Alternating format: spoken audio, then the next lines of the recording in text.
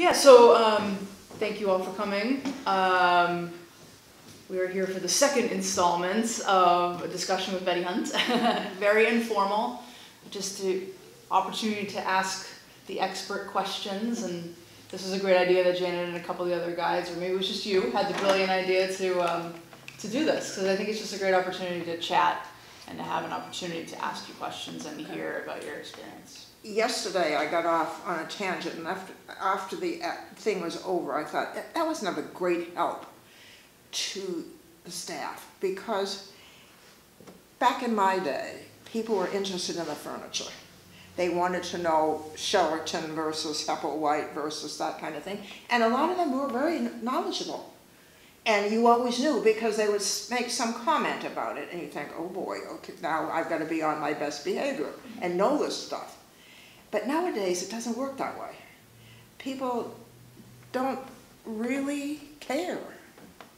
I don't think. So, what do you do when you go through the house? To because what we have to do really is amuse. Mm-hmm. It's not Have to be a little teach. entertaining. That's it. You have to be entertaining. And there are a lot of things in the house to point out that are fun, and that people. I'm surprised as an artist by trade. I'm surprised at what people look at and don't see. For instance, that portrait in the back of the hall. There was a portrait going into the counting room, hanging outside, is Robert Hooper, and he doesn't have any teeth.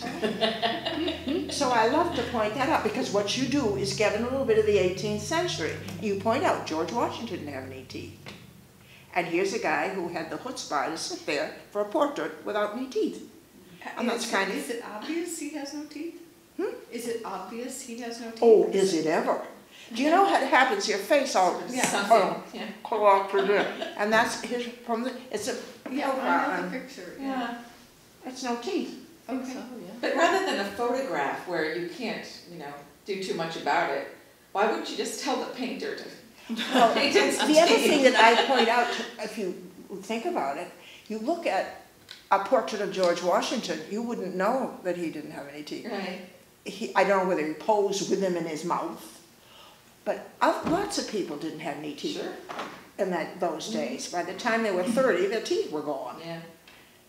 Part of it's too much sugar, but that happened to the royal family in England. They were all Yeah. gumming it because they Well, ate so much sugar. The combination of the availability of sugar and no, no dentist, Yes, no dentistry to speak of. that's right, yeah.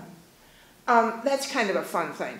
And um, yours truly has, looked- speaking of looking at things, up until, I think it was this year that I discovered that clocks or watches with a Roman numeral dial, the four is four ones.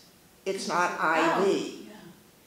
So if you point that out on the, I do that usually on the clock in the counting room, because it's such a gorgeous clock. It is beautiful. And while I'm pointing out the days of the month and the phases of the moon and the sweep second hand, Uh-huh. I point that out. And you go, I never knew that. Well, then it gets people looking and remembering, the Yeah. woman at the Historical Society in Marblehead and it gets the word out of we're Mm-hmm. in business here. That's one thing.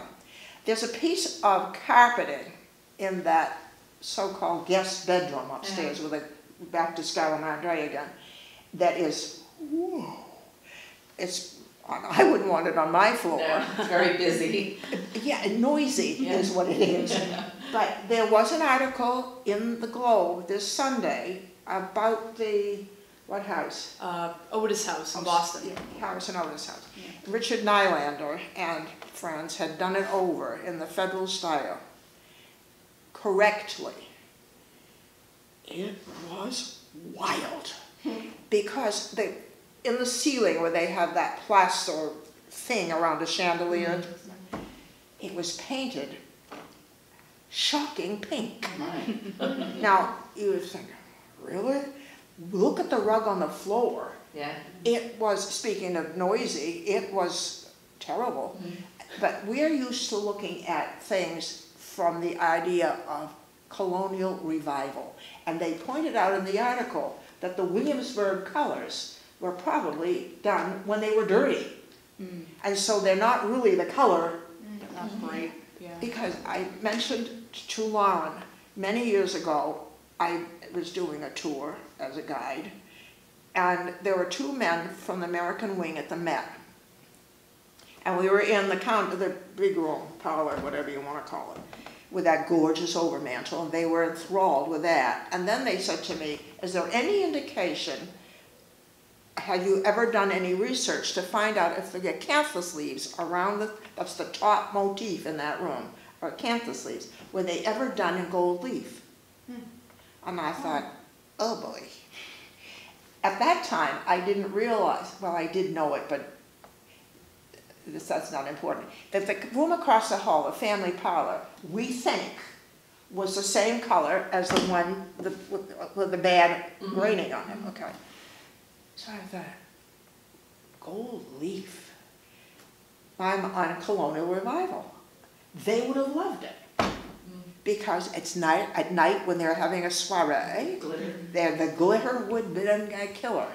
Another thing to point out, the mirrors in the hall. You gotta be her height to look in them. They're not there for, look, for looking into. They're there to reflect light. It's interesting to point out how dark things were at night particularly, or on a cloudy day. Mm-hmm. It was dark in there. And so anything you could have that would reflect light would be kind of interesting. That, as I say, that carpeting is good, isn't it? This is what he would have had on his floors, that kind of stuff. And mm. apparently Jeremiah had practically wall to wall according to his inventory. Huh. He had yards of Axminster carpeting. Hmm. Amazing. The other thing that I do, and this is just my tour, but what I do is, when you're talking about the wallpaper, picture somebody had to do a scale drawing of the front hall, of all of the rooms with wallpaper, but especially the scenic wallpaper, because the pieces of paper that it was done on are not on rolls. It's not that way. It's hunks. Oh. So you had to have a scale drawing of that hallway, take it over to England and give it to the stainer, as they call it, on the wallpaper, stainer, and they would draw on the paper what was going to come back and hang in Jeremiah's front hall. The other thing that's interesting, around the doorways, in the bottom hallway and the top hallway, is egg and dart. It's a kind of motif. They printed, Bach printed, the border egg and dart in England to go all the way around the doors and the top of the wainscot. And that's kind of interesting. So that border is separate from the main? Yes, yes. I It thought it is. was newer. Hmm? I, I thought that border was new somehow. Parts of it have been replaced, but there are a lot of it that hasn't been replaced, and you can tell. Um, the other thing that's interesting, I was executive secretary during the time that most, I think all of the wallpaper conservation was done. This is over a period of years. I can remember the summer that they did the hall. What year was that? Was Eighties, somewhere in the eighties? Eighties, early nineties, right? It was in the nineties, Early 90s? nineteen nineties, I don't remember the actual year, but it was interesting because the whole hallway, you remember it, Connie? I do, I do, and Hazel Oliver, I think, was the one who started the campaign to get the paper cleaned. Yeah. And that was that house committee all Yeah, those years, I do remember. The hallway was full of staging, because you, you know, you can't get up on a ladder on that staircase, so they had staging everywhere, we were ducking under the staging to do tours. The thing that's interesting is in the room that we think of as Mr. Lee's bedchamber, the one that has the Neptune on the window, between the front windows. If you look, on the wall toward the brick building outside, his, there's the egg and dart border. But on the other wall, no. It's a, uh, trefoil, quatrefoil border, yeah. Well, when the wallpaper was taken off, the Northeast Document Conservation Center found writing on the plaster behind Neptune. Hmm. and there's dates. It should be in the, right in the report. Yeah, So you can tell and I just suspect, but I don't know, and I never cleared, talked to TK McClintock, who was in charge of the thing, was that done at that time? One assumes. When they took the wallpaper off and saw the date and the signature of the man who had taken it off, he obviously didn't do part of the room. But when he took it off, he wrecked the border, and so they put up something else. Ah. And so that's kind of fun to point out. Um, I personally like that wallpaper in that room better than the bellicose stuff with the drums and the swords and the cannons and the rest of it on the outside. Because there's one panel, and I don't know if that's of great interest to you, but there's one panel where there's a vessel that's heeled over on its side and there's like smoke coming out of it. And what they're probably doing is burning off the stuff on the bottom of the ship because they had no dry docks. And if the thing got oh. Um, Like barnacles barnacles and seaweed, Oh. how did you get, but that's one thing to point out. See, I'm not talking furniture. Mhm. I will point to the bellflower inlay on the two card tables in that room, and I do talk about other things up there, but um, I don't get into it. Do open the closet door in that room, because there is a series of wooden hooks on the wall, and the house is post and beam, and there's got to be a post behind a thing in the corner that he has somebody, uh, it was Jeremiah, I know, put a cap, what they call a cap, they put on a lovely smooth thing with beading on it in a closet. Yeah. I mean, who would care? But he would care. Well, that's almost the same thing as the cellar, with that herringbone brick and the archways. Yeah, yeah. Who would care? But it's so beautiful. Yeah. Um, the cellar, of course, we can't get into it, I but know, but um, such a, the, where the doors were down there, because you can see there are lintels on the side, and the coal bin, which I love, love the coal bin is still got coal in it from the nineteenth century. Yep. And early twentieth. And scuttles. Yes, because they had, when had Hannah Tutt was working here during the winter, there were stoves in that, in, a stove in the great room. And so she sat in there to do her work, and there were, there's still coal in the cellar. But I started to say, part of the coal bin is one of the doors that they took off. You can see the Ah, hinges. They just laid it Right, big long horizontally hinges or- on it. Have you ever been down the cellar? Yeah.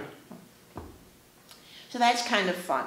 Um, I always point out, as I mentioned yesterday, that awful staircase that uh, Lauren and I think went from the third floor down to the first floor, from the nursery, so-called.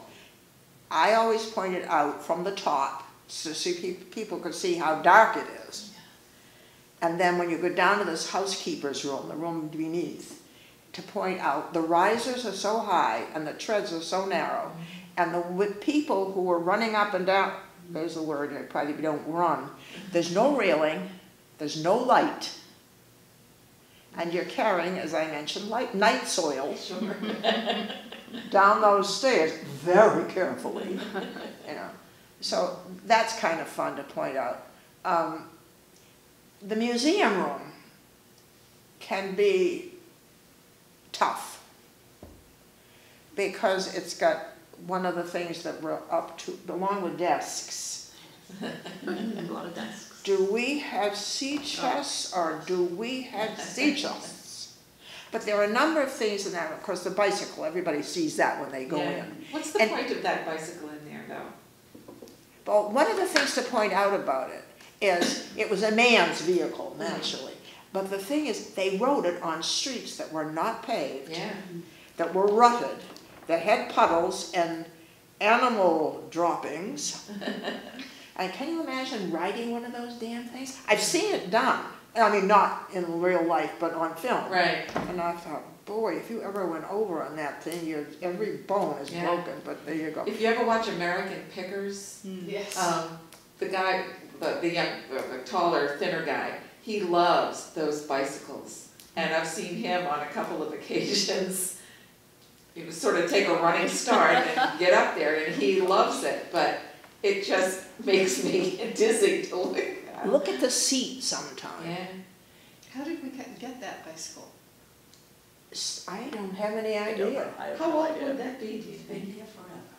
Somebody did it over, if you notice the pedals Yeah, on it it. is rather Because new you- they made it to, it to be I'll have able to to be ridden.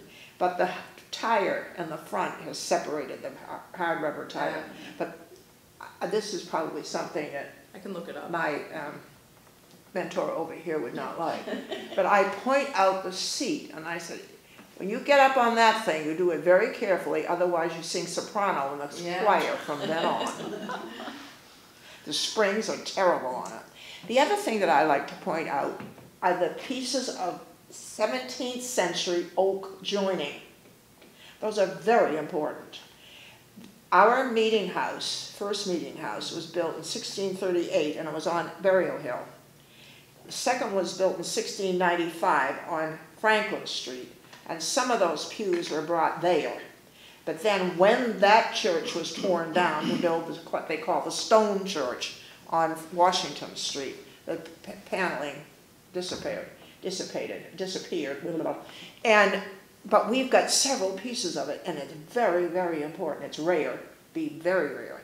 And so that's important to point out.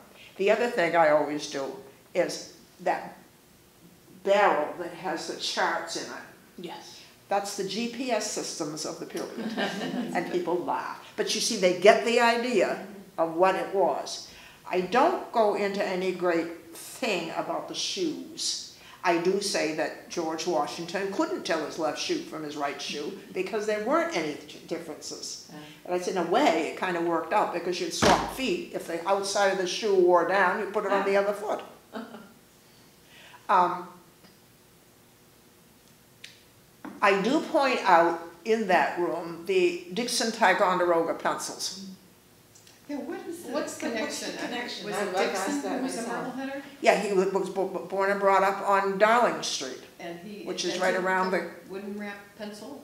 Yeah, he's, Eberhard Faber did him in Europe, Oh, okay. but he with the American graphite pencil. I noticed you put my container in the I did. There's a little container in there of graphite that I gave Lauren for the collection.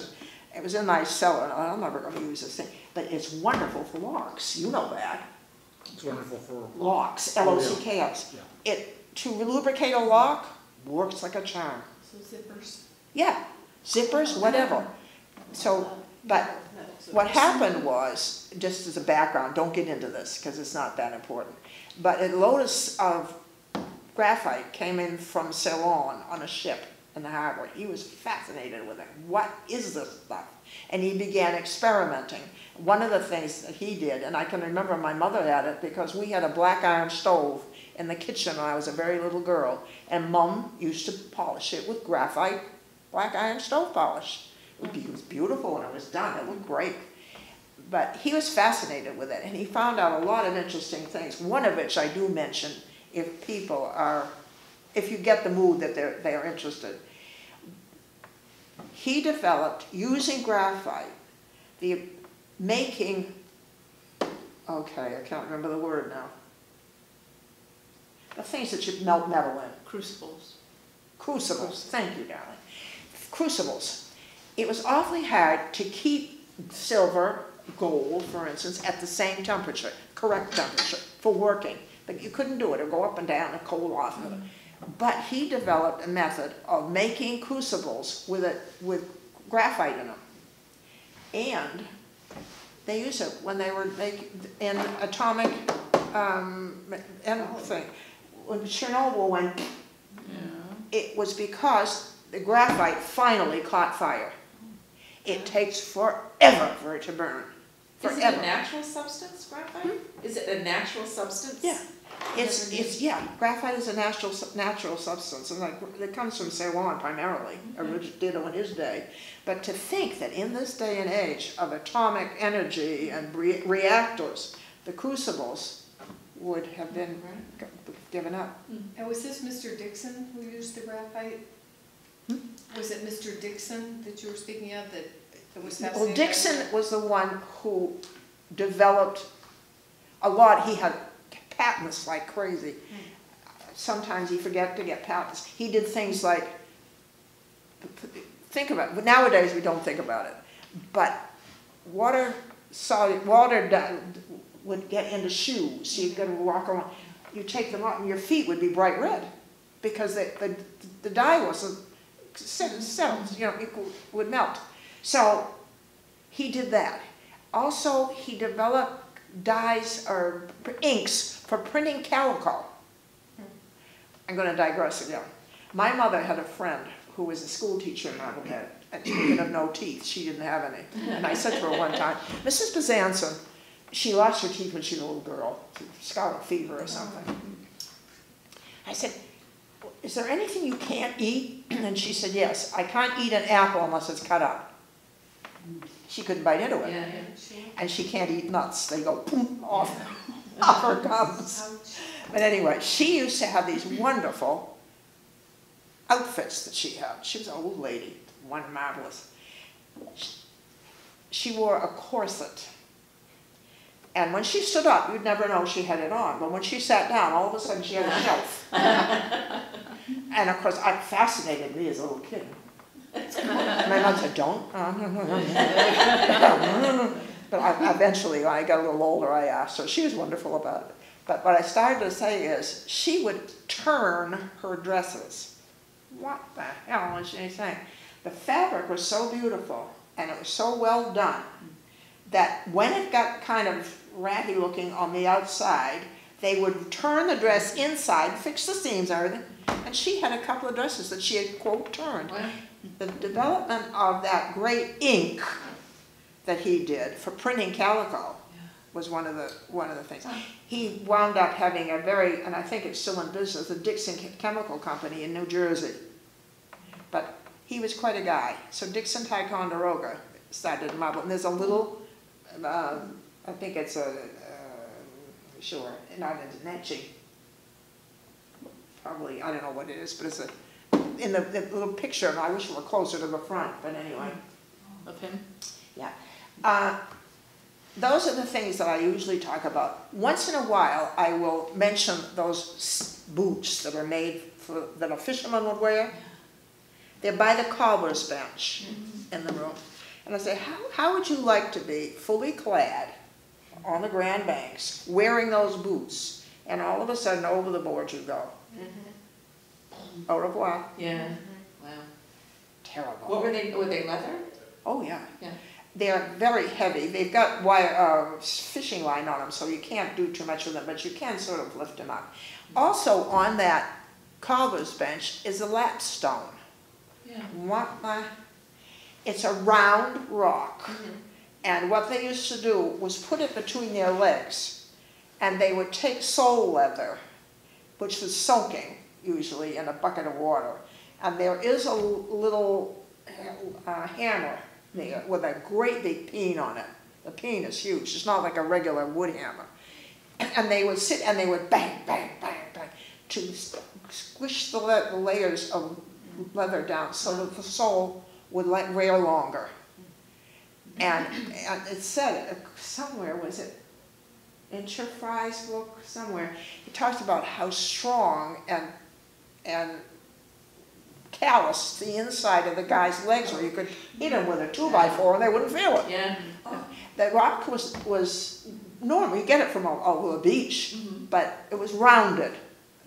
So they could hold it between their legs. Yeah. That's kind of interesting. Um, How about the, the Marblehead pottery in that room? I don't usually get into that too much. It's in a tough place to see. It is, yeah. I'm not, No, it's but those damn sea chests are there. right there with you. Um, Have, have you looked up Marblehead pottery on eBay? yeah, They have it on Antiques Roadshow Oh, yeah. sometimes, and it's It's really. it's very beautiful. interesting. Yes. Yeah. It really is. It's a great story. Because the, big- how it started like is it. interesting. The fact that it was a kind of therapy for people with nervous disorders to sit there and make pots. When would that have been, Bette? What years are we talking? It started in the nineteenth century and it finally gave out in the nineteen thirties. And on Front Street, hint, hint, hint, I point out where there was a shop where it was sold, And on Goodwin's Court is where the um, pottery was. It was where it was fired. Uh-huh. Yeah. It eventually became a commercial thing. Um, there was a, the, the designer, my mind is not working today, the heat's getting to me. There was a fellow who did the designs of the pottery. And that thing, that big thing that's standing on the side with the loops of, that is a water lily bowl. Water? You would put water lilies in it, okay? And it was one of his experimental pieces. It never went into production. But they did tiles, bookends, um, vases, vases, whatever. We have vases, we also have lamp bases. And they look like a vase, but it's really a lamp base. What the heck was his name? What was his name, Warren? They I designed- know. But I can't remember. The doctor? He wasn't the designer though. Oh, he was the start, I, yeah, you're right. Yeah, there was a designer of it. I've forgotten who his name is, but one day I got a phone call, and this is so-and-so. No, oh, Baggs, Baggs. Baggs. Walter Baggs, something like Arthur Baggs, Arthur Baggs. This is Arthur Baggs. I said, not the Arthur Baggs. Well, it was his son. Uh, And he, that's how I come, I know that that piece was made as experimental. It didn't go out in production. There's one other experimental piece in there too. But he was very interested and I opened the case and let him take out the pieces to look at them. I'll tell you where there's a great collection of it. And that is in Abbott Hall. Yes. A terrific um, collection of it in Abbott Hall. Gives you an idea of how much more was made. One of the things that he did, this is a digress again, but it's good for you to know. When Tutankhamun's tomb was discovered, they sent over one of the little perfume bottles to the Metropolitan Museum, or they gave it to them, or we bought it or whatever. And so they gave it to the pottery in Marblehead, and they made a cast of it, and they used to turn out bo- perfume bottles in the form of an Egyptian sarcophagus oh, guy. Oh, cool. And I don't know whether there's one in Abbott Hall or not, but that was part of the Marblehead pottery, oh, okay? So that's third floor. Um, I have one question about the museum room. Yeah. The town crier's bell, do we know when that dates from? no, I have no idea. There's a picture, um, there's a photograph of the last town crier whose name is escaping me. Yeah. Who has this bell. Now, whether Is that the bell? it's the, it looks just like it. I think it is that bell, but how far back that bell Yeah. really goes. Yeah. When whole- did the town crier stop crying? Yeah, uh, I don't know when that. I'd that have to go back and look it up here. I I mean, did they have the town crier as well as newspapers? I would suspect what did the town crier in was a Was the newspaper. newspaper? They did have newspapers, the Marblehead Mercury was one of the very early ones, but they went in and out of business. Hmm. And stuff. Uh, I- uh, I- George Derringer, remember, was reenacted the town crier during the bicentennial or tercentenary or whatever, whether he's down on the, uh, Paris. Uh, uh, There are a lot of interesting things in that museum, but I do say that do the, the um, oak joining, that's very important. I don't do anything about the fire stuff. That- There are a few Indian artifacts, and for little kids, they might be interested in the arrowheads and that sort of stuff. But one of these years, we're gonna dig out the baby stays. Working on it, we're inventorying the textile room. And um, we have a set, it's a corset for baby. Oh, oh, oh, Well, they, they felt that it helped the child be kept Oh, in good posture, Suppose. you know. And Gee so, whiz. it's a teeny weeny little thing, and it's fascinating, because we have lots of things in the collection that are not shown. Sure. But let's talk about what we do have shown. Um, we talked about the sitz bath the other day, which is not eighteenth century, but the shower in that. And I point out, what the heck would you have to do to get into and out of that damn thing, that sitz bath? Yeah. At my age, young. I couldn't do it. No, my knees would say. "Mm." I couldn't do it. If somebody hauled me out of it, I could do it. But then, one of the things you can do if you're stuck for something to touch. How the heck did they heat enough water and get it from the Exactly. fireplace to here Yeah, to take a bath? I don't know. Yeah. I don't know. I Do think remember Dolly Parton talking about when her sisters and brothers and all were taking a bath, they, they used the same water? yeah, But they bathed in the kitchen, Oh, yeah. by the fire, Oh, yeah, by the fire, yeah. They weren't yeah, lugging it yeah, up to the third floor. Yeah, So why is the sitz bath on the third floor? because it's too late for the, Oh, our kitchen. Okay. It's way too late. The third floor is nineteenth century for the most part. Yeah, and there's, the problem is also there's too much in the Yeah. collection. And That's it. I think, You can't show why. everything. right. Um, Lauren's doing a great job of bringing out stuff and tucking other stuff away, which makes it so much easier, it really does. She's now, as you know, working on textiles. There are boxes and boxes and boxes of textiles. And Are I. they eighteenth century? Well, some of them are not, I'm gonna be a pain in the ass about this, but the one of the, one of the woman who was here before used to take things that, why are you taking this?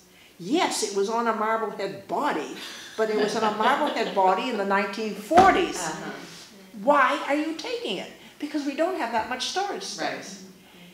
It's fine if you've got that beautiful dress that's downstairs in the front. right. Yeah, that we want. And by the way, it's a great joy and fear to sew a label. Most of the labels that are sewn, what they do, when they're cataloged, they're given a number, and they write this on a piece of cotton tape. And then they say, Betty, because I could do it, I'd sit with my little needle and sew it on so that it, uh, because one of the things that we've done over the years, again, this is not gonna help you a lot, but one of the things that's happened over the years is a lot of the numbers have come, not come off or been lost. They did a, put, put it on a little, The tag, the tags. yeah, they That put it you've on a tag or, or a glued sticker, huh? Yep. Gone. Yeah, mm-hmm. and then when it falls on the floor, you think, what did it belong to? yeah. Yep. You don't know. Okay, so now we're on the third floor. The trundle bed is interesting, um, but it's not for children. It's for someone who sleep, who, is- if the person in the bed were ailing or very elderly, that per- a servant would sleep in the room, and then they shove the bit, the thing underneath. Um, one of the members of the house committee this was the group of ladies that made the house beautiful. Went in when she saw the, the work done on the, that yellow gingham chintz, gingham coverings in that room.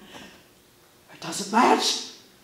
I said, Dorothy, they didn't match in the old days. The fabric was too costly. Yeah, So they just put together what That's what exactly they wanted to do. Another thing we don't have showing anymore because it's our samplers. Right, they're all boxed. And we have a lot of very good samplers. But again, that's not something that the average person is interested in. Mm-hmm. They really aren't. Because I can remember, show, and I say, look at this, this is something that a child did, age so-and-so. And they, oh. They didn't think, why, or anything, and I didn't get into it. Okay, let me see. We've done that room. Ooh, one of the things I like to do, the back of the third floor hallway, look out the window. Look how high we are. That's interesting. And I always point out the two windows slash doors that lead up to the attic. From the third floor hallway, there's one at one end of the hall and one at the other end. It was for two purposes, to gain access of large stuff up there, to put it up. And, because the stairs going up to the attic are butt wide, you know, you can't carry anything up there. And the, oth- the other thing is ventilation. If they, if, back in my day, you could or open some of the windows on the third floor. And if the leaves were there in the summertime, why they would be there, I don't know, because the smell of the town would drive you away. But if you raise the windows in the cupola, the heat would go out. Mm-hmm. It would be nice. And is that the purpose for those two window openings, That's sort what of? she's That's referring to, yeah. Yeah. That sort of gives the, the heat a little bit further to go rather than hanging on the third Yeah, floor. but it- they, they had multi-purpose, for that purpose and also for getting stuff into the attic for storage. It gives you light too. Hmm? It gives you some light in the attic. Yes, mm-hmm. that's right, uh-huh. yeah. Can I just go backwards a little bit? The Yeah. oak joinery that you said is so important, I could say, well, there it is, but what do I say about it? What was that again? The oak joinery that you were saying in the museum room? The church doors, Well, the, the fact that it is so rare.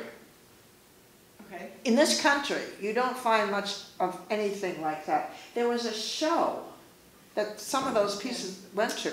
Yeah, New England Begins at the England MFA Begins, that's in the seventies. Yeah. It was a big deal, Yeah, yeah. there was a show, and they came and asked us, could they take some of that too, because it's so few pieces around.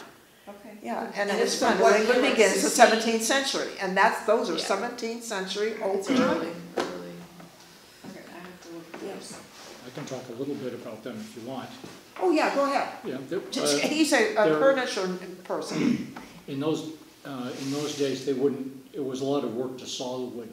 So what they would do, uh, uh, in particular with oak, is they would find straight grain pieces and they would split it. And they use a tool called a froe, which looks kind of like a hatchet, but the sharp end is pointing down and the handle and you, and you pound it down and you can use it to split off straight grain pieces of wood.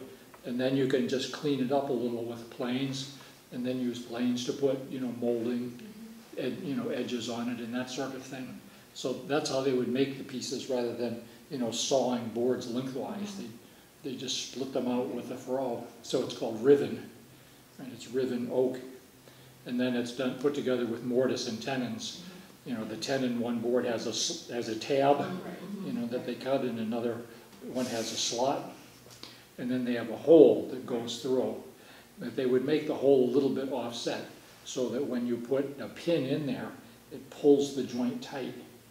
And what those, uh, those panels have, if you look really closely, and it's probably not something you want to show people, but sometime in curiosity, you might want to look yourself, the, the pins, you know, the wooden pegs that are put in there to pull that tight, those actually are, are split, and they have a wedge driven into them.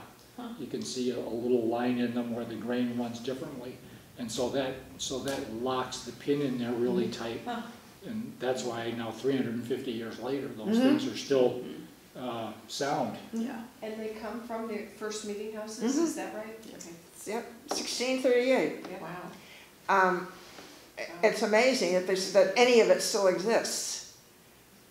And we're, I, I- well, I think we're very fortunate to have it. Yeah, it's. It's not, it's not something you think, oh, wow.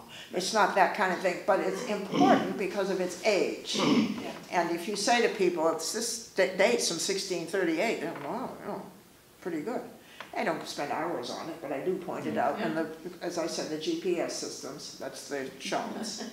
And if I'm dying to talk about something, there is a captain's medicine chest up there. It's, everything is, you know, but In the museum room?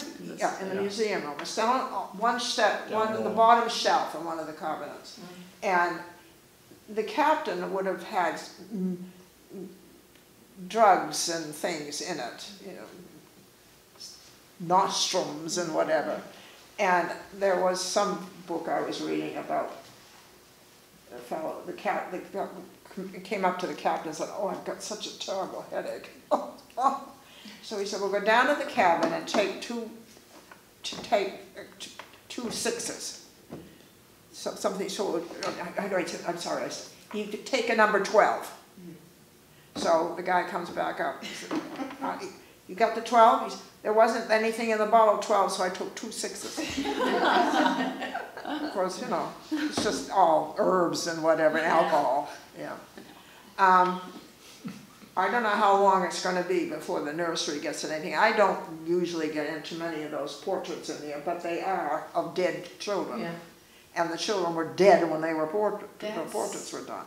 Um, that spooks some people. Yeah, yeah. They were dead, I always thought they, the mothers thought they might be dying, But you're saying they actually were dead? Hmm. Yeah. The way I tell it, and I don't, tell me if this is true, that, you know, since obviously the children would die at home, Yeah, that like once the doctor left and pronounced them dead, if you had the means, you would then call in the yeah. portrait artist? Yeah. Is that basically how it would, how As far as I know, yeah, because otherwise the Otherwise, body, the body you starts have- to spoil. Right. Well, there- And unless not- you're gonna freeze it, Right, but they're supposedly, I was told they were dead children. I believe so, the symbolism of the mm-hmm. roses and the pointing and the down. pointing down. Yeah. Because there's a, there's one of a little boy, and he's pointing. That's by an Oh, artist. it's a, yeah, Sco, what's his What the name? heck, it's a Scotty, good one. Scotia. The Yeah, one in the, co- it's in the corner. yeah. It's an artist of some renown, He and he's drowned. pointing to where he Yes. died. Where he drowned. Yeah. Yeah. I can't think He's a of his name. fourteen-year-old kid in a nice-looking outfit. And I love, if you, again, if you can't think of anything to say in there, the little boy on the hobby horse mhm. Yeah. With the skirt and the long right, hair. looks like a girl. I always say, little girls never straddled a horse. Ah, Never. That's a little boy. That's another one of the things that belongs to the town, isn't it? I think so. Yeah. Devereaux, he's a Devereaux. Yeah, Right. Abbott Devereaux, yeah. Okay, so that's that, pretty much. Um, then you come back downstairs and you get to the housekeeper's room. And that's where I point out the bottom of that staircase. Lauren and I, and Stanley's, I'm not sure that he's still on this one, but mm-hmm. we have pretty sure that that damn staircase went all the way from the third down to the first, to the kitchen. That would make sense. Okay. We have no way of knowing for sure, but maybe if some lovely person leaves us fortune of money, we'll have a, a somebody come in Yeah. and look at it, Sure. you know, and architecture, whatever. Okay, so then you've got the kitchen. Before we do that, I don't have too much to say in the nanny's room. Is there anything else to talk, I usually talk about the brick kitchen because you Yeah, can see it that's- you well can from see- there. that's a good place to do So it. that's a place where I do Yeah, that, and I that's a- do talk about the staircase Yeah, and the that's about possibility of the other staircase. I can't think of anything else to really say in there. Well, if you want to point out anything, that's a very plain room. Mhm. There, there's no fancy molding, there is molding around, but it's not worked at all hardly. Um, it's one, the, it's not a double wall, like some of the other rooms have double walls. This does not have a double wall. Mr. Lee's bedroom, for instance, there's a double wall, The, Okay. For the shutters? Thickness of, the thickness of the. Seat. The window seat and the shutters and all That's right. that. Windows Okay. the pockets Yeah, for Yeah. the shutters. okay, I never picked up on Yeah, that. that's, that's a thing that you can do in there. Um, one of the things that you can bring up, the Marquis de Lafayette came to this house on two occasions. Mm-hmm. The last time was 1848, uh, 24, 1824. 1824. And he was tired, he was an old man at that time. It's amazing to think that he was nineteen on the, on the. Revolutionary War when he came over. But when he came back, he came to the house, and of course, at that time, it was owned by the bank. Mm. So the cashier's wife said, "Well, go upstairs and rest in my bed. And the children, a couple of kids, who is, you know, ooh, wow, is that, and they went the stairs to see him. Which, but isn't that fun to think that the Marquis de Lafayette was resting in that In room that in room, eighteen okay, yeah. No, that's kind of fun. Um, beyond that, in that room, and showing the, the brick kitchen, Mhm. uh, that, that's important. Then we go down to, uh, the kitchen that we have. Um, that fireplace has been worked over, I don't know how many dozen times. It has because the early pictures of the removal actually show the oven differently. Yeah, Uh, they, they made the oven into a square. yeah. Yeah. Do you Maybe think it was thinking they were- arched maybe in the It was in the first pictures go-round? when they first took the, um, the plaster and stuff away from it. It was, but whether then they revert, it's a lot. Who knows what they were thinking when they did it. Um, the, the thing is, sometimes, what, why bother, we could say, that- just make a statement if you want to, the fireplace has been worked over. However, and then go on, one of the things that people don't realize a, lot of times on cooking in a fireplace like that, they didn't have a roaring five logs going tickety boom. They had small fires across the hearth. Mm-hmm. And they went from one fire to another, the way we go on a burners on a stove. Mm-hmm. Mm-hmm. Um, they did stuff on a, on the crane with the pots and pans, and of course they ate an awful lot of, they do a soup and they just keep adding into that same base. Yeah. Uh, so the food that they had was pretty limited and not that much fun, you know, but, uh, but that's kind of interesting. There is a, an interesting iron, and it looks like a hot dog. Oh, yeah, the goffering iron or whatever it's It's, called. yeah, it's for ruffles. Yeah. It's a Yeah. goffering iron, Yeah. yeah, and that's kind of fun. Mhm. Um, the foot stove, you could, oh, and there's one other thing that I love on that. Hanging on the fireplace below the mantle, there's a little thing, wood, with a metal thing at the bottom. And I take it down just so I can explain, because you can't tell when it's hanging up there what it is. But I take it down, I show, it's got a little thing that looks like a coal hod or something on the bottom, it's small, with some very nice perforations and flower form at the top. And I said, this was very important because it took a lot of work to get a fire going. Mm. It took a lot of work. So if the fire went out, you would run next door to your neighbor and you'd say, could I have some of your embers? And you'd scoop them up in this thing and you'd run home and it was straw. They didn't burn paper. Mm-hmm. Oh boy, no, Yeah, because no, paper was. Maybe old rags, but, but straw and wood chips and that thing. Uh-huh. to- Uh. But see, then, then they didn't have to do with the tinder and the flint and the whoo and the, mm-hmm. it was much easier. And And that's where, what- where is that if you face the fireplace, it's hanging on the left-hand side. Mm-hmm. Yeah, Lauren would like to go, have me go through I would love and show, point out some of the things that I Mhm. talk about, which I find fun. Um, so that's interesting in the kitchen. I always, now, I love that sugar thing you do. Because there's a pair of sugar tong, cutters Mhm. on the kitchen table. Sugar came in things about so high, like cones, and it was hard as a rock. So you went boom and cut off a piece. And in that firkin that's on the table, there are little pieces of, what do you call it, plastic stuff. Styrofoam. Yeah, yeah. But it shows you about the size of the stuff you get. Uh, Now, if you wanted it to be, not that they measured much, but if you wanted it in a granulated form, that's why the mortar and pestle is there. Mhm. So that you pound this sugar and get it to the, that form, which is good. Um, is the pewter on the table, The pewter is, is newer. Yeah, it's It's new, but one of the things you can mention about pewter, Oh, the pewter, sorry, I'm thinking of the teapot. The No. pewter is the old. pewter, poisonous, Mm. it's full of lead. Mhm. But they didn't know. The captain's, there's a beautiful captain's liquor thing in one of the rooms. Yeah. And you wonder how much w- mer- uh, was in that, that was lead in that crystal. True. You don't know. Right, But they didn't know the difference. So if they were getting sick, they didn't know why. Yeah, for instance, the putting, the powder that women put on, Yeah, full of lead, yeah. full of lead. They didn't know. Okay, so the kitchen. Um, I don't go into the Nan King and the town canton. The only thing I do point out is there are a couple of plates there that when I was a little kid, baby's dishes were like this. They were double, and you put hot water in, Mhm. and you could, you could, so you can point that out, you know, that kind of thing. Um, odds and ends of stuff, I don't spend a mile in the kitchen, I do the sugar, because that's, that's visible, and you can see it. Do you- Now, Do you do Lafayette's platter? Hmm? Lafayette's platter?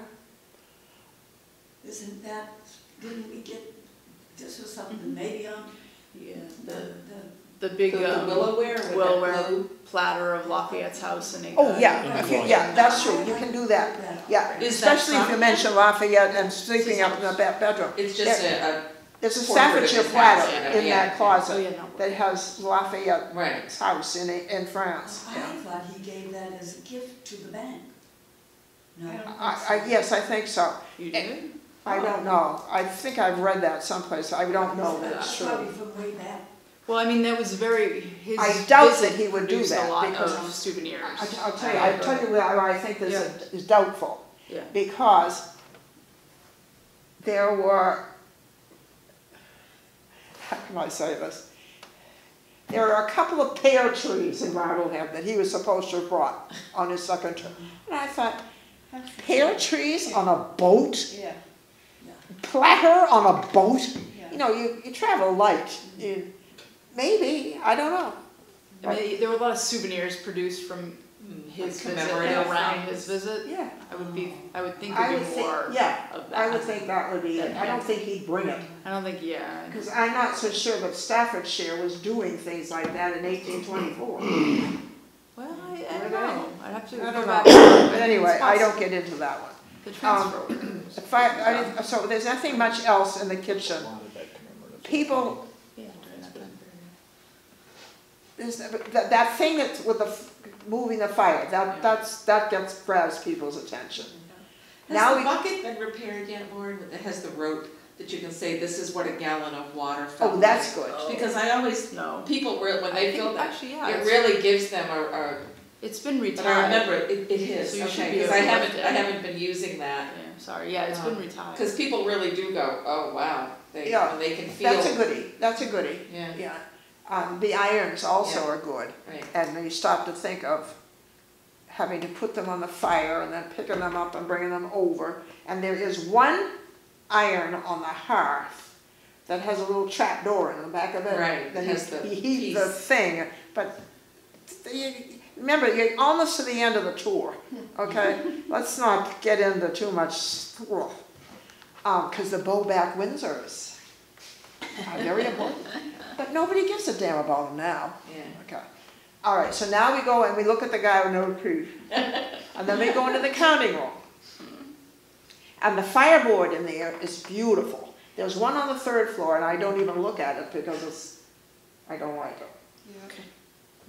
But the one in the counting room is marvelous because it shows the neck without a tree or a bush and the causeway going over. And it shows Nicholas Bartlett's vessels in the harbor with his house flag. Why the fireboard? Because for some reason in the 18th century, people didn't like looking at empty fireplaces. It Doesn't bother me, mine's empty, no, I don't care. I thought it had a practical purpose, so that Traffic. birds Yeah. and bats can't get in the house. Birds and the bats can summer. get in anyway. Yeah, I'm behind sure it. that's true, It but, doesn't, it doesn't fit in the fireplace. right, Well, they used to fit like over the andirons. Oftentimes they'd have cut throughs. Yeah. So sometimes it could, but you'd still could get stuff in, that's for sure. Um, not too long ago, several years ago, I opened the damper in my fireplace and a pigeon flew up. yeah, we've had that happen. So I'm chasing the pigeon around the living room. I got him, threw him out the front door. Okay, so, um, that's interesting. Uh, of course, the safe.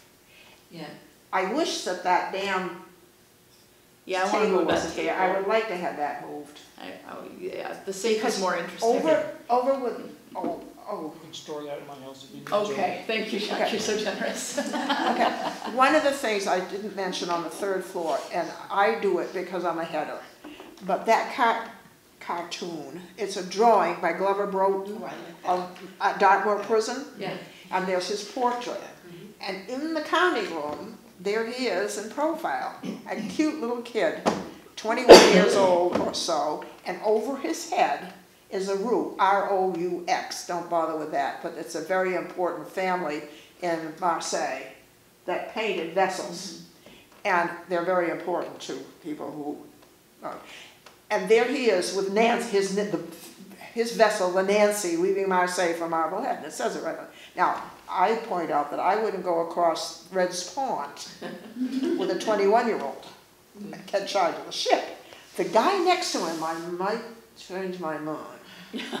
But there would be a place to put that damn card table between Yes. those two chairs. Yeah, Okay, yeah. so we go over and we look, and there is the, the safe, which is very interesting, I think. And that is from Jeremiah's time? Yes. Because I've heard people say, no, it's from the bank, no, it's No, from Jeremiah. hell would so they put a thing in there when they had a great big vault next door? And how do you install it into the chimney after the chimney is Yeah. built? That would be hard. Yeah, I oh, would it'd be think. turned So to that is putting what- in, and when, the- after the chimney was built? Mm.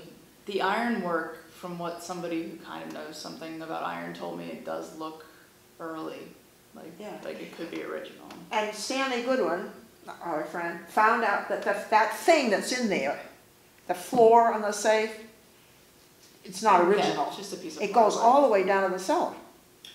That's what it. It goes down pretty low. I don't know Yeah. if it's all the way. Well, from the cellar, it I goes guess way does down. go the cellar. So that Where else? is, you know, Okay. Yeah, that's just a piece of plywood somebody Yeah. painted, but mm-hmm. there are pictures when the bank had it that they, they had something there because they had little upright file folder holders in it when it was a Oh. bank.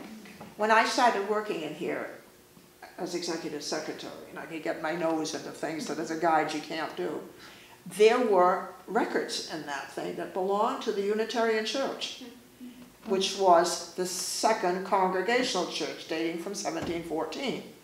And they were having had a schism way back when, and they didn't want anything to happen to the records. So they asked the Historical Society, could we keep them in the safe in Mr. Lee's office? And we said, they said yes, and that's where they were.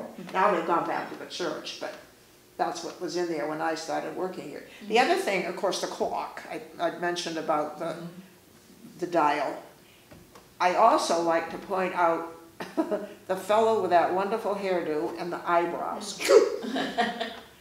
He was a veteran, oh, he was killed in the War of eighteen twelve, he's buried in Valparaiso. He was killed in a battle off Valparaiso in Chile, and that's where he's buried. As a result of his heroism, he was given, the family was given silver coins, and in that silver display is that little helmet picture, which was made for his wife, his widow. So I kind of think that's nice. He was a descendant of General Glover too, or mm-hmm. related to General Glover. Now, when I was working here, and Connie will return to this, people used to go, women especially, the ceramics. They would go ape. Hours. We had to boot them out the front door. Oh, they would salivate all over everything. Now, people go, huh? And I go. Because I didn't ever like it in the first place. But in those days, the women loved it. Oh, Times yeah. change. How about the big bowl? Is there any story to be told about that? It's French, it's not Chinese, Mm. which is kind of fun. If you look in that closet, one side of it is Chinese, and there is a pillow, a ceramic pillow down on the floor. Uh-huh. Yeah, the other side is English. Mm-hmm, yeah, Liverpool Joe. And was that just a punch bowl? Is that what that was used for? As far as I know.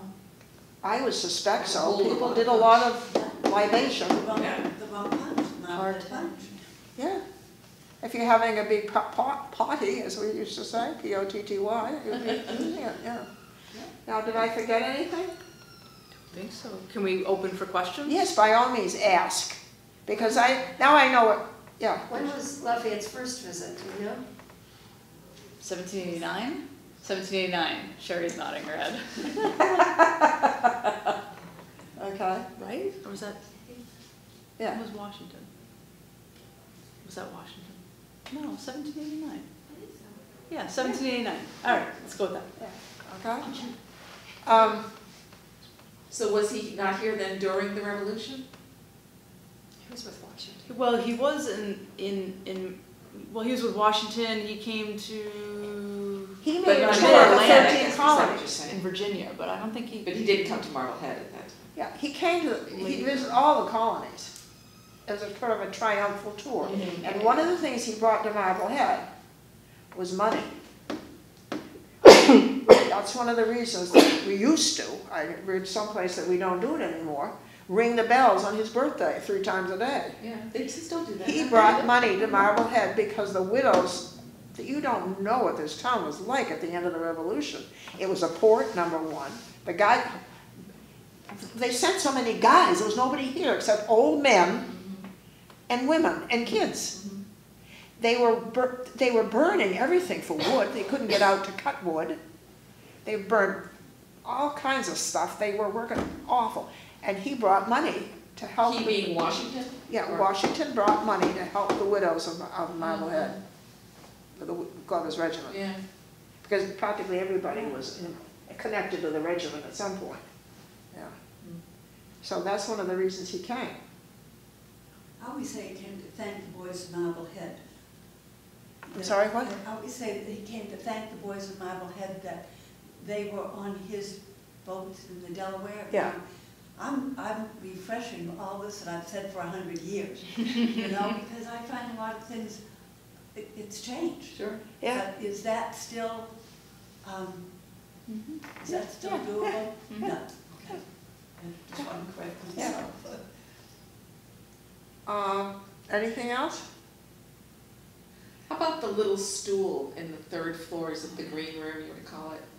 The, the little footstool that looks like it's made from a pair of trousers, I don't know that it's Yeah. trousers. Oh, no, it's. Probably a jacket. a jacket. Yeah, But one of the things that, that, another thing in that bedchamber that you just mentioned about, that's, the two paintings, the Reverend Mr. Lawrence and his wife. She's my favorite lady in the whole house, I love her. Yeah, Yes. I Okay. always point her out. Yeah. Yes, okay, such a the lack of vanity to be she- painted with your glasses. Well, she, that was because she was a writer. Yes, and a published writer. And after her husband died, somewhere in the 1880s, she put out two treatises Mhm, on on the tobacco, evils right? of tobacco. yeah, I always tell people that because I just think she's great. And I think that's fun. Yes. And I love the, her collar, I love that Yes, lace in her collar. That rocker in there belonged to Mr. Lawrence, you know, the Oh, rocking chair. To the Reverend Lawrence?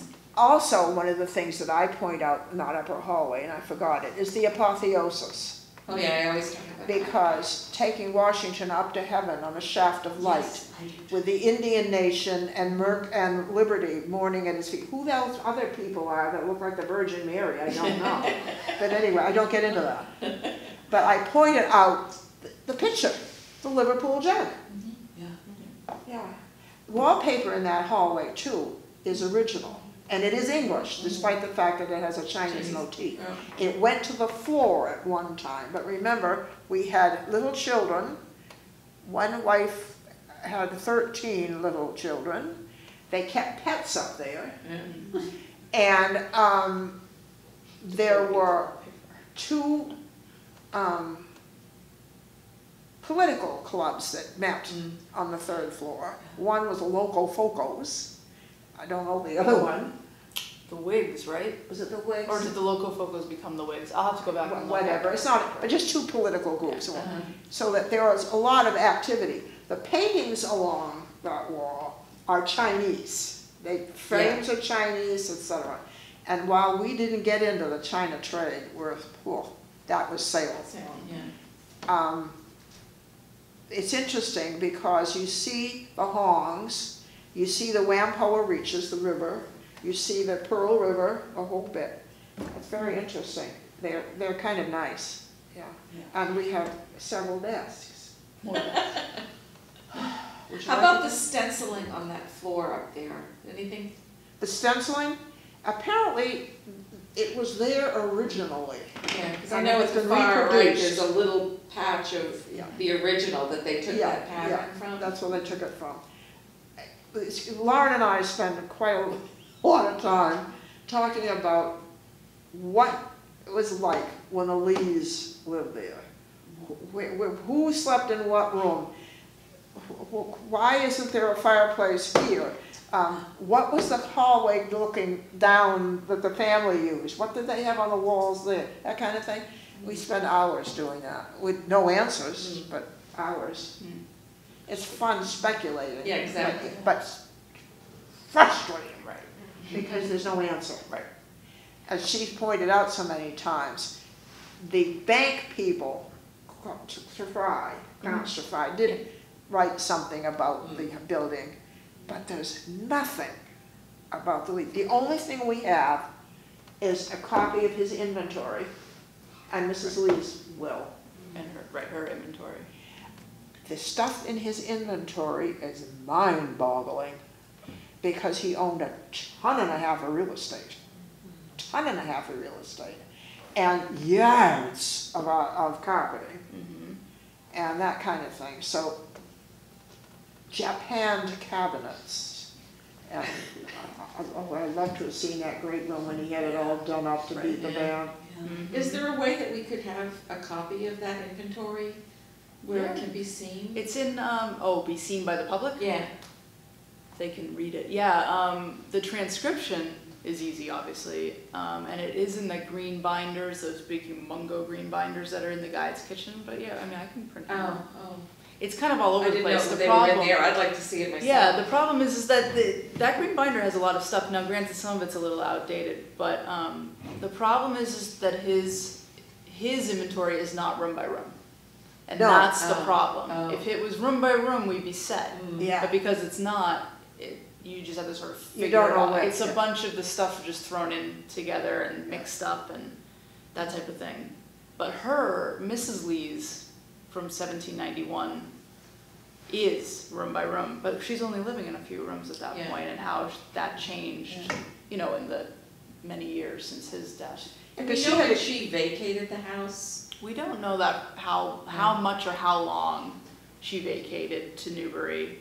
Was it certain points in time and then she came back? But there's enough that she's, could be living in this house in Okay. seventeen ninety-one.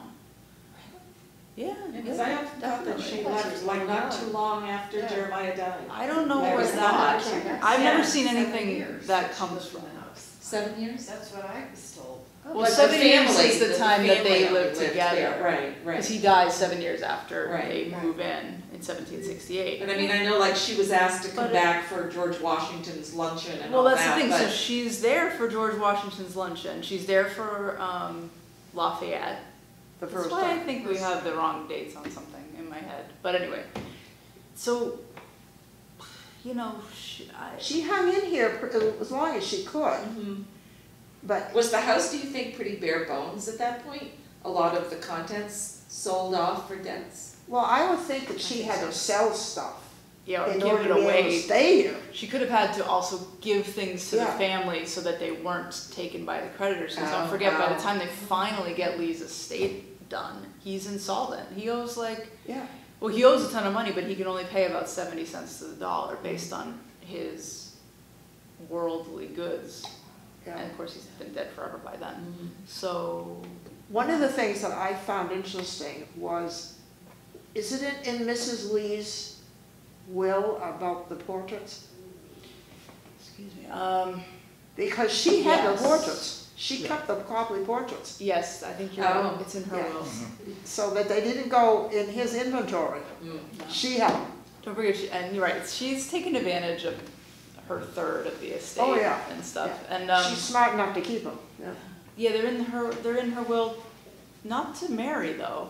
Was it to marry? I don't remember, I'd have to go back. I don't know who, who finally got them. How did they end up in Connecticut then? Hmm? How did they end up in Connecticut? The portraits? In Canada? Connecticut. Oh, at the Bec- Athenaeum. That was thanks, that was thanks to Mrs. Crowninshield.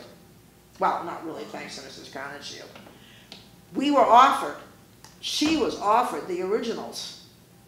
Wow. By, a- by a Lee descendant? Whomever, yeah, Yeah. we were offered, that she was offered the originals. And she said no, Why?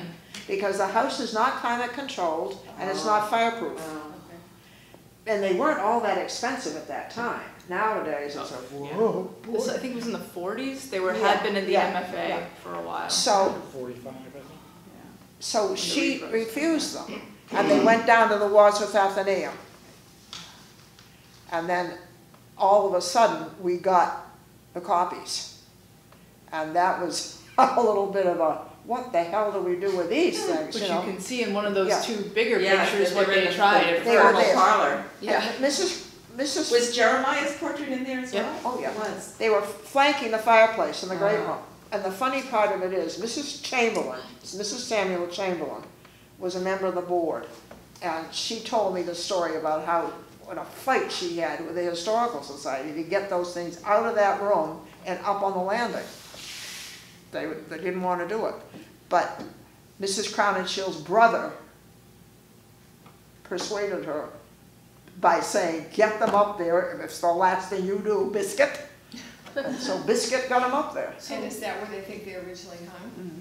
Upstairs, they think that's where they originally hung, was on the Well- landing? As far as we know, yeah. As far as we know, they hung on, on that landing when he It ordered seems the the perfect spot, I Where can't else? imagine putting them anywhere else, It- but. It's weird because where else would they fit? Yeah. And she, well, the only thing, and don't forget, they, they were commissioned in sixty-nine, so they were mm-hmm. commissioned after the house was built, so Yeah. it makes sense that they had a a place in mind in the house. Do we know if the uh, painter came to them or did they go to him, Co- Copley, Singleton, Copley? I don't know that we know for sure, but he was, my understanding is that, you know, a lot of the tropes that are in the, the metaphors and the tropes that he used in other paintings, he used in these too. So it was his, he was copying English painters, that whole Yeah. desk, like they never had that table. That's. That's they- a prop that from was his a prop, studio, yeah. Basically, or in his, or in his experience, It's yeah. kind of funny, if you look at portraits, that you'll find the same dress on Right, And, exactly. and I'll tell you why, what, what's fun about it. I was commissioned, not some time ago, to do a drawing of a house up off West Shore Drive for a f- guy. And I said, okay, no problem. Yeah, now what do, what do you want me to move? I said, move? This is the exterior, exterior of the house. I said, move? He said, well, yes, you want me to move the furniture? I said, honey, if I don't want to put it in, I don't paint it. I can move trees. I can do all kinds of stuff, all by myself. You don't have to, so painters can do that. They can paint the same damn thing on fifteen people. Who was Yeah, that- Biscuit? Hmm? Who was Biscuit? You said Biscuit, Narcissa Narcissa Chamberlain, Chamberlain. it's her nickname, was Biscuit. you're kidding. I named my favorite cat Biscuit. Oh, God. Nar- What's her name? Chamberlain? Narcissa. Narcissa Chamberlain. Mrs. Samuel Chamberlain was called Biscuit. Yeah. I love it. Yeah. And who were the Yoko Okos? What, the- what was it? Loco Focos, Loco, Loco some what? sort of political group. Yes, it's Loco something. Focos, was it F? Loco, L, capital L O, capital C O, capital F O, Yeah. C O, Loco Focos. Focos. Local foco, yeah. Fun. I don't know what they, with some kind of a political men's group, obviously, No, not I women. can't find anything about it. Let me think, was there anything I left out? Because thi- this is the kind of thing, and when you go through again, if you've got somebody with you who's, because I did entasis yesterday. Now, I can do entasis again today, because that is something to point out. What is that? Um, in the family parlor on the first floor, there are pilasters flanking the fireplace. Oh, that's And- where you said they put Yeah, that's it. If you look at, when you're in the room and look directly at them, the things start and they, this is an exaggeration, but it bulges out and then goes back in again. Now, why would you bother? But when it's this building, uh, that building, he bothered. He wanted it. And he got it. In the room above, his bedchamber, it's, t- t- there are paneling to stop fluted at the bottom, but the fluted panel, p- pilaster above it, still has that little bit of a bulge. And what did you call it? An- an- Entasis, E E-N-T-A-S-I-S. Yeah. That was pointed out to me by some guy from the Graduate School of Design at Harvard. Oh, I And is had- that a- an architectural term, entasis? Yeah. Yeah. Yeah, classical archaeology, Okay. yeah. I would, and back in the day when we couldn't go into the rooms, remember those days? Yeah. When we couldn't go in, you wouldn't see them. But now that we can walk into the room, about, whoa. And you think, why would he bother to do it? If you, if you made it straight, they don't look right. They don't look right when they're straight. Yeah, You know, They don't look right. It's to correct, um, it, it- it makes them appear straight. proper. Yeah, that's Yeah, right. Yeah, yeah. It makes them appear a little bit as though they're carrying a load. Yeah, They have a slight, yeah. a- a slight bulge to them. Yeah. But um, if you, if you make them straight, they just don't look right. Yeah. And The Greeks did that. You know, they did all these slight optical refinements to Mm-hmm. improve the appearance of it. Yeah. And, you know, these things were studied by Yeah. the people who were studying the antiquities, Mm, and they, and I they knew it. faithfully copied these things because they The other worked. thing, excuse me, the other thing in that room, I mentioned it yesterday, the tiles are rather interesting. and I think they should be Around pointed the- out. Also, the tiles in Mrs. Lee's bedchamber are marvelous, and the andirons are bell metal. B E L In L. Which room? Which room? Mrs. Lee's. If you look, I pointed out because there's a warming pan in there that's brass and it's yellow. But you look at the andirons and they're pink. And it brings out the color in that, those tiles beautifully. The other thing, of course, that fascinates me is the, the walls that come down the middle, little end in the middle of the window. Hmm, yeah. That's fascinating. I love that. And what is bell metal? Bell metal is copper and brass, hmm. making bells. Yeah, I never heard that term. yeah. Right. What about the bathtub? You said they, they did use bathtubs by the fireplace to bathe? But they would have had it in the kitchen? Likely, yeah. And they So- didn't, So they you didn't wouldn't do a have to carry ton the of, water up three flights. I guess. right, but don't forget, they're also not doing a ton of full immersion bathing, like we do almost daily, pretty Right. much. But they would, the wash basins are more for exposed parts, that's why their linens were changed often, that were actually touching the body. Yeah. That was sort of, it's not correct to say they never bathed, they just didn't immersion bathe like we do. But they sponged off, they cleaned off, and then they changed their linens frequently, especially the Lees being so wealthy, they certainly changed their Right, linens and laundered them. Most people did laundry every week. Were the linens like undergarments or a Yes. base, a base garment? Yeah, what's touching your Mhm. skin, basically, yeah, what's between your skin and the outer garments. So they did actually, did use a tub in some, When they did full immersion bathe, they had something, yeah, likely.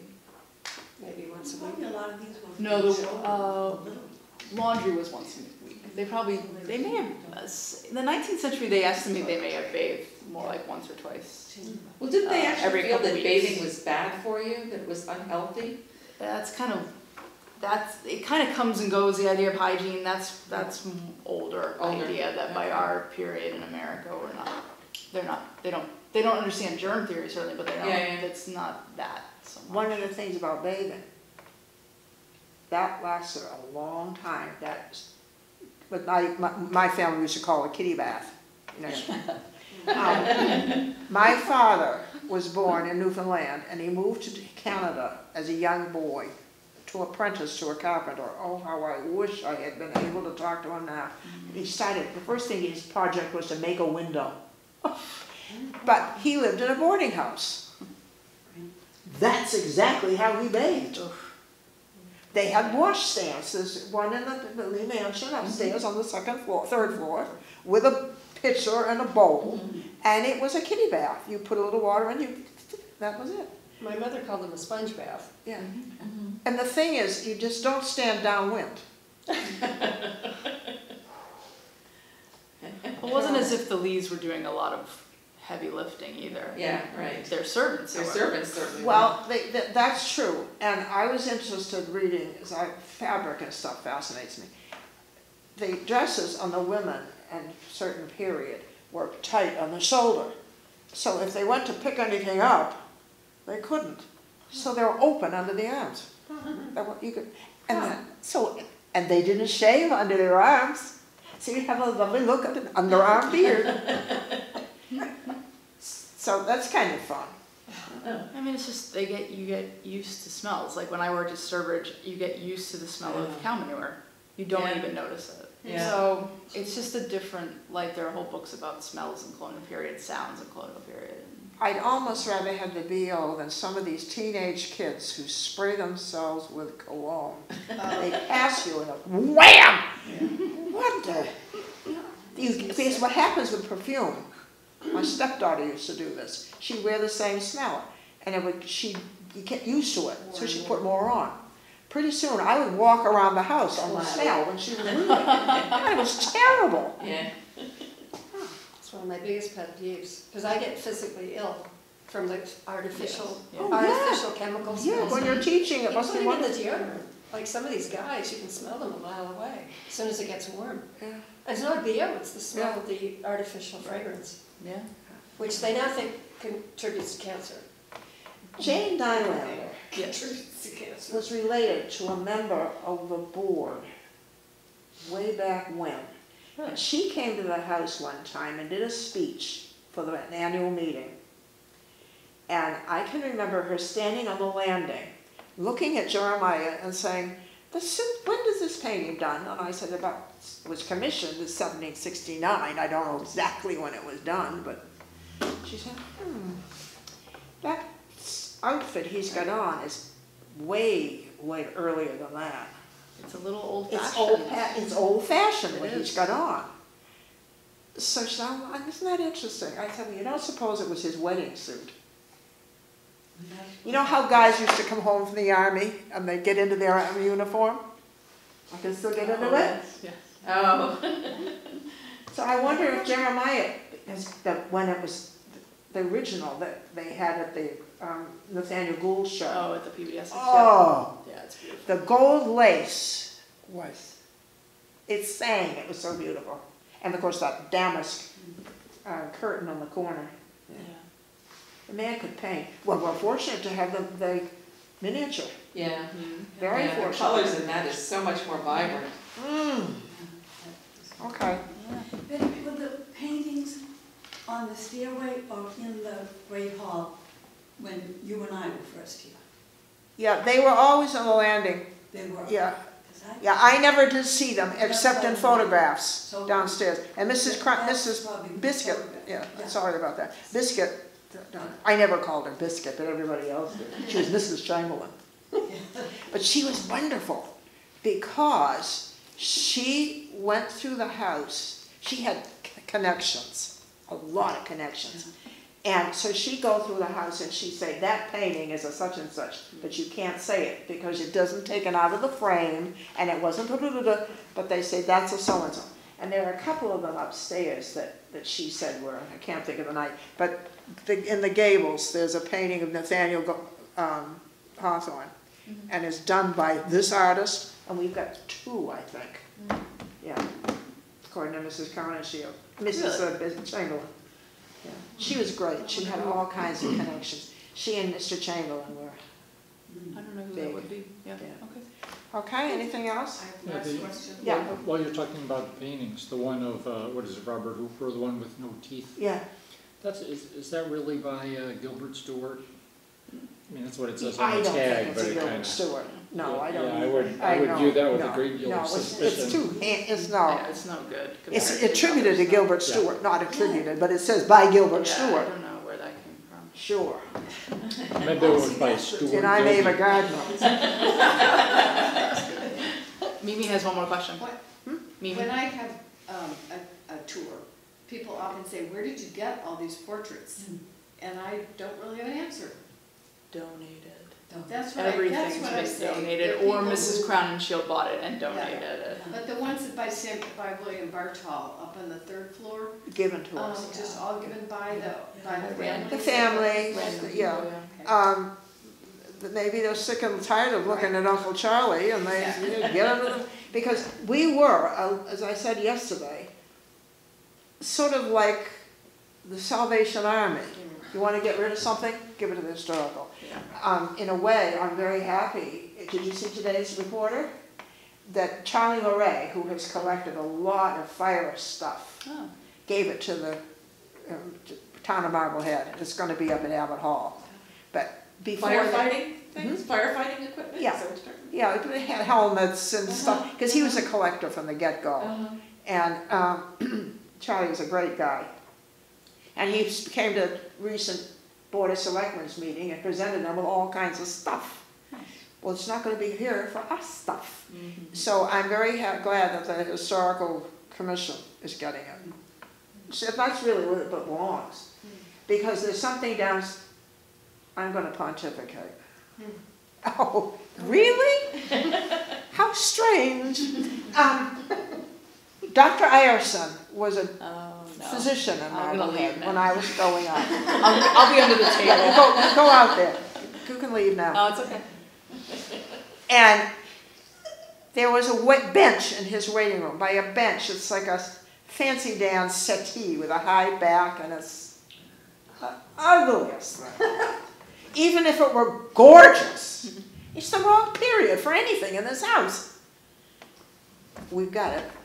Was that the one on the third floor with the No. filigree? We don't even know where it It's not on display, it's not on display. It's not on It won't you. be on display. It's not on you. Was it Victorian? Yes, it's late, well, it's It's off the late. counting room now. It is a damnedest looking thing. But the trouble is, when you, some, you can't really say, no, we don't want that. Yeah. Um, it's hard to do. Uh, was it offered to the historical commission and they didn't want it? Yeah, see, so we wound up with it.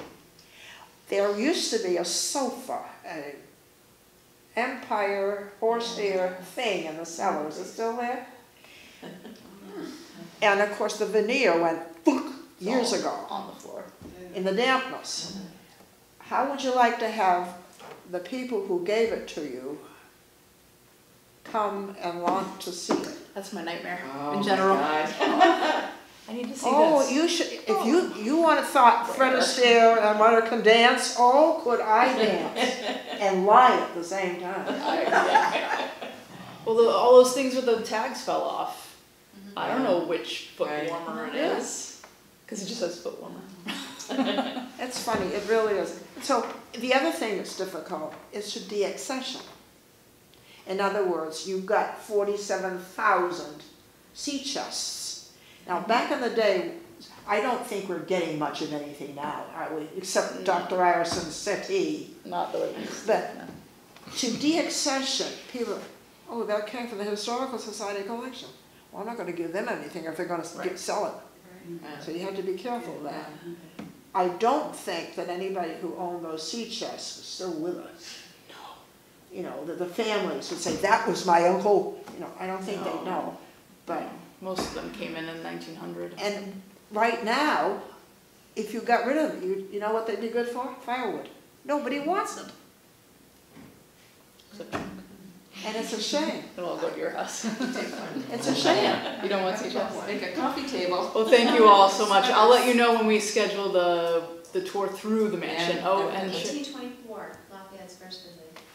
no, second. I said seventeen eighty-four. Seventeen eighty-four was Lafayette, 1784. eighty-nine was Washington? Eighty-nine was Washington, and the commission says they came together, that's not, I don't think that's true. No, they did not come together. So I think that's where the false eighty-nine comes in, so seventeen eighty-four, 84. he came, then he came later and stayed on the ship, Yeah. never got off, Okay. and then, Eight and twenty-four. And twenty-four is when he took the nap.